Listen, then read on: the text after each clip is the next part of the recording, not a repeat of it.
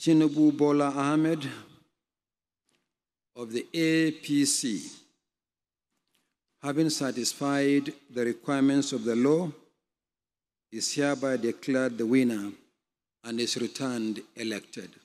Thank you.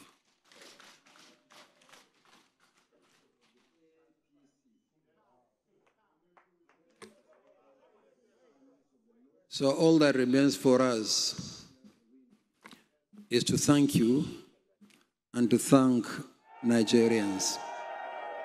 But there is another responsibility we are required to discharge by law the issuance of the certificate of return.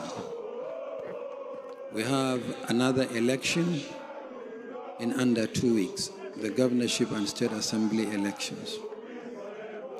We have therefore taken the decision the certificate of return to the president elect and the vice president elect will take place here at 3 p.m. today.